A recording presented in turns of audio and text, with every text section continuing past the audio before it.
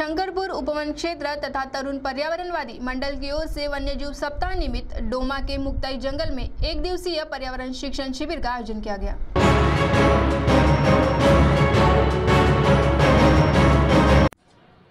शंकरपुर उपवन क्षेत्र व तरुण पर्यावरणवादी मंडल की ओर से वन्य जीव सप्ताह के निमित्त डोमा के मुक्ताई जंगल में एक दिवसीय पर्यावरण शिक्षण शिविर का आयोजन किया गया इस शिविर में संस्कृति विद्यालय डोमा के 40 विद्यार्थियों ने सहभाग लिया था और इस शिविर में निसर्ग भ्रमण किया गया, जिसमें वन्य प्राणियों की पहचान के साथ वन्य प्राणियों ऐसी जुड़े अन्य जानकारी तरुण पर्यावरणवादी मंडल के सदस्य अमोल गौरकार ने दिए। जंगलों का महत्व इस विषय पर संस्कृति विद्यालय के शिक्षक ठाकरे ने मार्गदर्शन किया। शंकरपुर के वन क्षेत्र सहायक यूबी लोखंडे ने वन्य जीव सप्ताह के महत्व के संबंध में जानकारी दी। वहीं इस कार्यक्रम का संचालन वन रक्षक रूपेश केदार, प्रस्तावित वन रक्षक सुनुले, वहीं आभार उइके ने माना। कार्यक्रम की सफलता के लिए बंटी भंडारकर, प्रदीप ढोने सुनील लांजेवार, जगू लांजेवार, दिवाकर डांगे, दिलीप गजबे आदि ने परिश्रम लिए। सी के लिए हमारे विशेष प्रतिनिधि जगदीश बिंदाम की रिपोर्ट।